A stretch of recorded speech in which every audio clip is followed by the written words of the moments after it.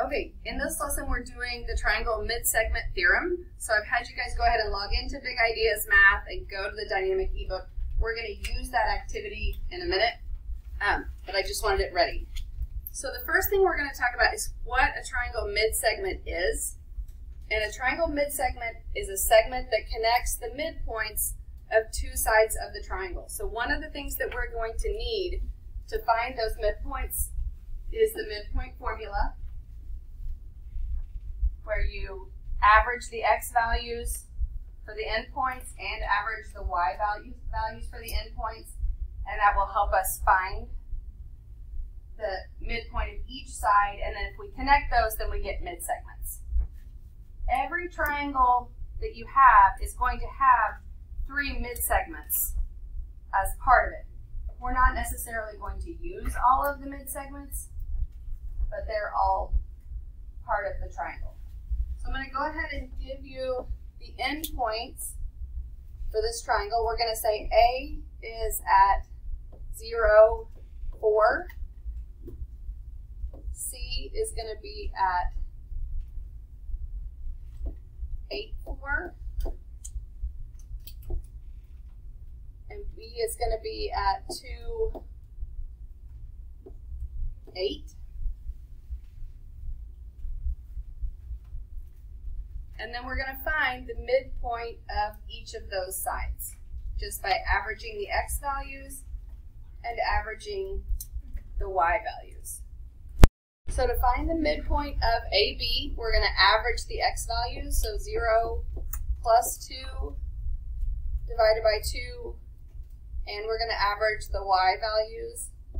4 plus 8 divided by 2. So we get 2 divided by 2 is 1. 12 divided by 2 is 6. So the midpoint for AB would be 1, 6. So we would say this point right here is 1 comma 6. We're going to call that M. And then if we want to find the midpoint of BC, same thing, we're going to average our x values. We have a 2 and an 8. And when we average the y's, we've got 8 and 4. So our midpoint, 10 divided by 2 is 5.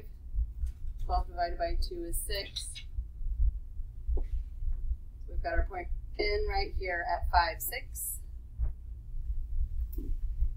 So MN is one of the mid-segments for this triangle. If we want to find the others, we would need the midpoint of AC. If you notice that AC is a horizontal line, you know the midpoint is just right in the middle. So if it's something that you can easily identify by looking at it, that's fine. We could just put our midpoint right there in the middle. I'm going to call it P. And we've got a mid-segment here. There's That's a, the second one. Mm -hmm. It does happen to make another triangle inside there. And then what we're going to talk about is kind of how each of those mid-segments relates to the other side of the triangle. Since you know that P is the midpoint of AC, what do you know about AP and PC? They're congruent. So there are a lot of things that we know just kind of looking at this triangle. One of them is that since we're dealing with midpoints, we know we have two congruent parts kind of on either side of that midpoint. So now what we're going to do is we're going to go to that exploration in the textbook. Each of you has a little sheet of paper that looks like this. And in the dynamic ebook, on page 370, you should have, it should look just like this. Next to each exploration, there's a little green square that says Desmos. And so we're going to use the first one. Just click on it and it'll open a Desmos exploration. And if you click on any of the points, you can kind of change the way the triangle looks. So what I want you to do, once you've seen that, I want you to take point A and put it at negative 3, 2. Point A is going to be at negative 3, 2. Point C is going to be at 6, 2.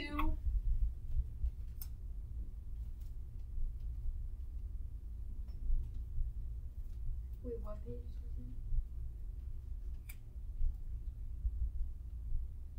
And then let's put B at negative 1, 7. This triangle, we're all going to do the very same triangle, but the next ones you're going to do on your own. On your sheet, it says the first thing I want you to is find the length of mid-segment DE and then the length of AC. So I made these horizontal lines so that they were nice and easy and we didn't have to do much in the way of calculation. If you want to find the length of a horizontal line, you can just subtract the x values. So for DE, E is at positive 2.5 and D is at negative 2. So what's 2.5 minus negative 2? Oh, point five. 4.5? Oh, yeah. 4.5 minus a negative. And then for AC, we can just do 6 minus negative 3, which would be 9. So you're going to go ahead and put that on your form. DE was 4.5 and AC was 9. And the next thing it asks for is the slope of each of those. So what do you notice about those two lines, DE and AC, those segments? They're horizontal. They are parallel. Um, and since they're horizontal, they both have a slope of zero. So we don't have to do any calculation on that. We know that horizontal lines have a slope of zero. Okay, now that we've figured out how to get it to add the labels, now we know what those lengths are and we're not going to have to do any work to find them. What I want you to do now for your next two triangles is move some of the points to create a new triangle. And it's going to go ahead and calculate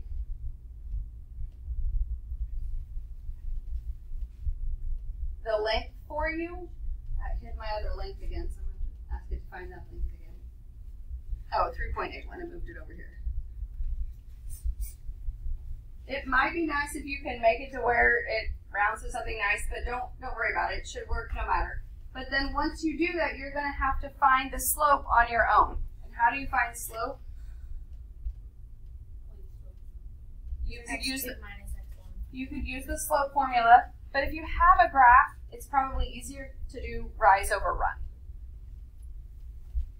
So once you have your triangle somewhere that you like it, and you like the numbers that it's giving you, go ahead and plug that information in to your table.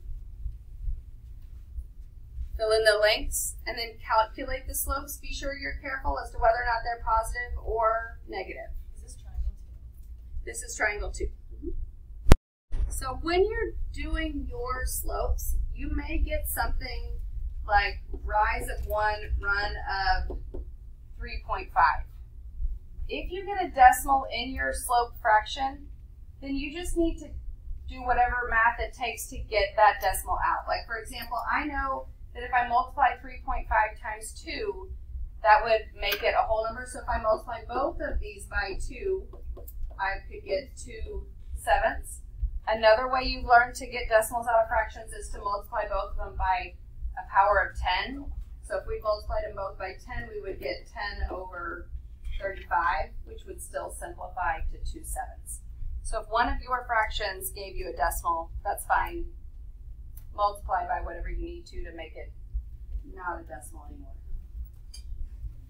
So I went ahead and put in my information for my three triangles. Um, our first triangles are all the same, but our second and third triangles are different. Um, what did you notice about the slopes of your mid segment and that third and that other side? They're same. So if we know that the slopes are the same, what does that tell us about the lines? What kind of lines have the same slope? Parallel. Parallel. So the mid segment is going to be parallel to that third side. What did you notice about the relationship for the lengths? Which one's half? Um, mine are not. D E should have been half of AC. It's like one of mine is like 0.1 off. That's So- repeating. If there was some rounding in there, then that probably so. Okay. but pretty close, right, to them being the same. That's one of the things that we learn about mid segments is that the mid segment is going to be parallel to the third side and it's half as long as that third side. That's one of the theorems.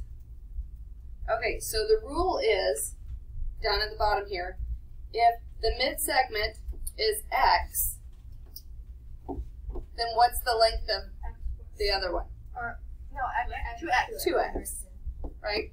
And the slopes would be the same, which tells us that the lines are going to be parallel.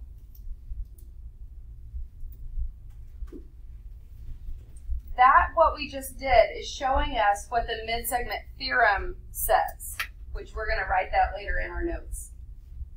But we started out with just defining what the mid-segment is, which is finding those midpoints and connecting them. If you go back to the textbook page, you go back to this page right here, there's an explore, there's a second exploration that you can click on. And when you click on that one, you get all of the mid segments for the triangle drawn at the same time.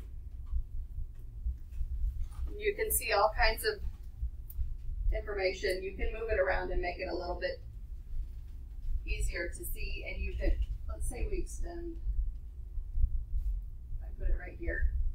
It's a little bit easier to see when I look at like this that DE has a length of 4 and AF is 4 and FC is also 4. It's going to show us all of those. And then you can see that FD has a length of 2 and so does EC and BE. And your homework is going to ask you to use those relationships. Sometimes it's going to ask you to show that those relationships are working. And so that's what we're going to do with this next, next example. I'm going to give you a minute to go ahead and write this down. Draw the graph, label it as it's labeled, and write down the information that's given. Okay, so in this example, they tell us that MN is the mid-segment for JKL. So we know that M is the midpoint of JK, and we see that N is the midpoint of KL. And they asked us to show that the lines are parallel. So what do we know about parallel lines? They have the same slope. They have the same slope. So if we're going to show that they're parallel, we need to show what their slopes are. When you're doing this in your homework, you want to write down what you're doing. So I'm going to say slope of MN and slope of JL. And you have your two options. You can use the slope formula or you can use rise over run. If you only have the ordered pairs and you don't have a graph, then I would use the slope formula. Since we have the graph, I would just use rise over run. So when we look at MN, does it have a positive slope or a negative slope? Negative. Negative slope. So we know it's going to be negative. I would go ahead and put that in first. What is the rise? The rise is 1, and the run is 4. So MN has a slope of negative. Mm -hmm. And then for JL, is it also negative? Yep. Yes. And it has a rise of 2 and a run of 8. I'm going to go ahead and write negative 2 over 8 and then simplify it so I can see exactly what I did. Are those lines parallel? Yes. How do we know? They have the same slope. So that's what I would say. I would say MN is parallel to JL because they both have a slope of negative one fourth. Or you could say because they have the same slope. Either way. So MN is parallel to, and you can use the parallel symbol if you want. MN is parallel to JL because they both have a slope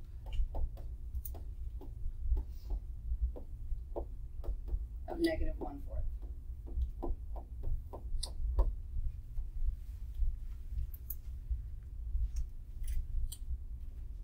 It's more writing, there's not a whole lot of work to show in there, but we see that they're the same slope. And then the next thing they ask us to find is that mn is half the length of jl. Now, when we were using Desmos, it did those calculations for us. I want you to be able to do those calculations on your own. So this is where the distance formula is going to come into play. So we're going to want to write the distance formula again. And I would write down what we're finding. So I'm going to find the length of mn first. So once I write length of mn, I'm going to write out our formula, which is x2 minus x1 squared plus y2 minus y1 squared. It is kind of an ugly looking formula. I wouldn't try to do many shortcuts because we tend to make mistakes. Um, we do have to subtract first then square, then add, and the square root has to happen very last. We can't just take the square roots of these two squares and say, oh, they cancel each other out. We've seen before that that doesn't work. So we're not going to do that. We're going to go ahead and put our numbers in. Mm -hmm. Underneath mn, it might be a good idea for us to write the ordered pairs for m and n so that we can use those in the formula. Can you see what the ordered pairs are just by looking at the graph? Yeah. Then do that. If you can't, then use the midpoint formula to find them. But I think we can see m is negative 4, positive 3. Mm -hmm. Wait, what? And n, n is 0, positive 2. And then we're just going to plug that information into the formula. We're going to subtract our x's and subtract our y's.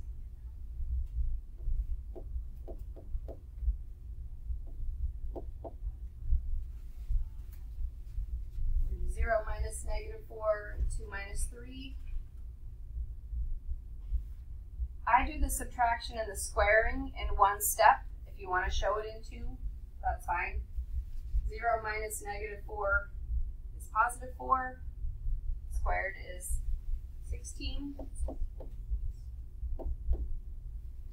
And 2 minus 3 is negative 1, and negative 1 squared is positive 1.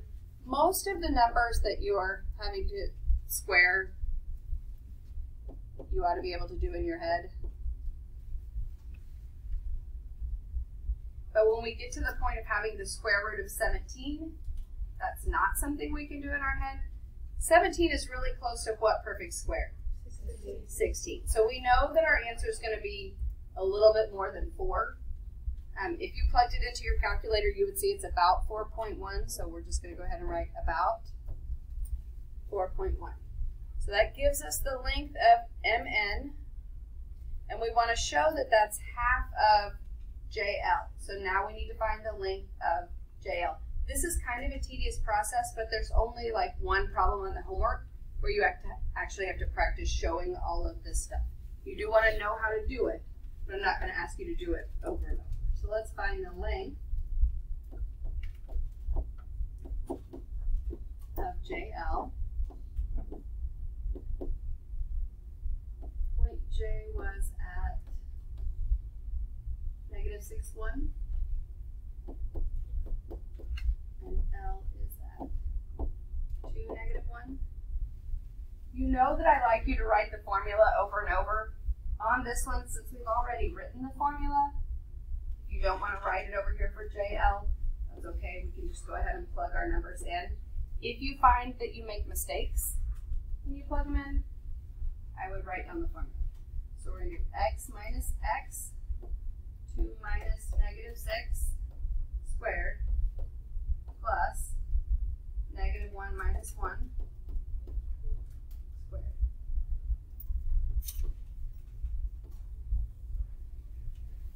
Then we'll go ahead and do our computations. So two minus negative six. What's two minus negative six? Eight. And eight squared is sixty-four. Plus negative one minus one is negative two, and negative two squared is four. Four. So we're gonna get the square root of sixty-eight. What perfect square is sixty-eight closest to? 64, and the square root of that would be 8. Is it going to be really close to Yeah. being double that? Yes. And if you plug it in your calculator, you get that it's about 8.2. So is 4.1 half of 8.2? Mm-hmm. Yes. So we showed that MN is half of JL because 4.1 is half of 8.2. I'm not going to make you write all those words out. We can do that if we want. Um, all right. The triangle mid-segment theorem, this is the one we've been talking about, but this just puts it into words. So I'm going to give you a second to write this down. The segment containing the midpoints of two sides of a triangle is parallel to the third side and half as long. Okay, so once you have that written out, we can also write the algebraic way of saying this. And we would say MN is parallel to BC by writing the parallel symbol in between. That's one thing we know.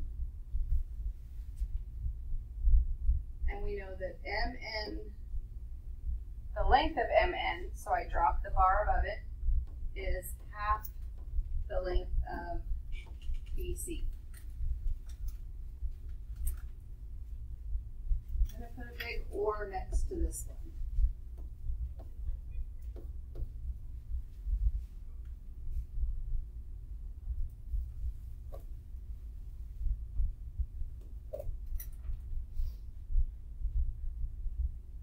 So he said MN is parallel to BC and that MN is half the length of BC.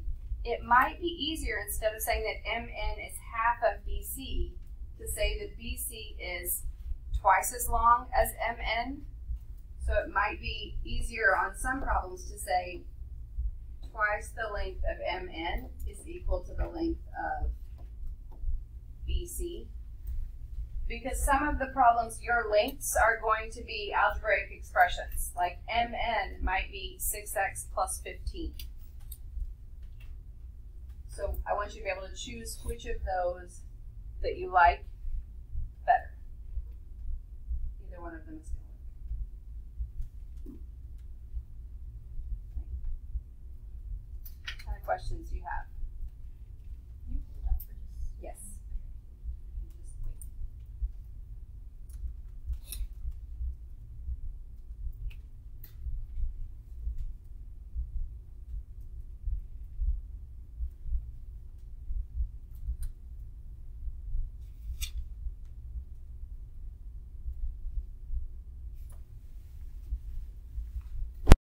Okay, so that's that's the end of the notes. On your homework, what you'll notice is there are going to be a different types of problems. Like on three, it's going to say find the coordinates of D, E, and F. Those are the midpoints. So you can use the midpoint formula, or since you have a graph, you can just use the graph. But then on five, it says show that EF is parallel to AC. You have to find their slopes. Then it says show that AC is, or the EF is half of AC. That's when you're going to need to use that formula. Look at problems 17 through 19. So on 17 through 19, it says that A, B, and C are the midpoints of the sides. And then they're going to tell you like AB is 3x plus 8 and GH, or sorry, GJ is 2x plus 24. You're going to be setting up your own formulas for, or setting up equations for those. Just be careful to determine sometimes the segments that they're talking about are going to be equal. Sometimes one of them is half of another one. Sometimes one of them is twice the length of the other one. So you can set those up however you need to solve. And then they're asking for the length. They're not just asking for x. Yes. Should we get a calculator for square root? You may want your calculator for the square roots, but you'll only need that on number five.